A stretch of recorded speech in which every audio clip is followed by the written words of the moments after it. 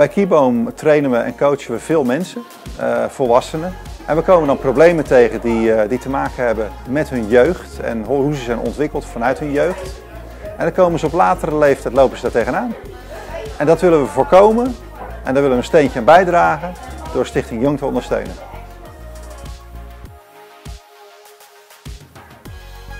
Wij van Stichting Jong zijn heel erg blij met de ondersteuning van Kieboom.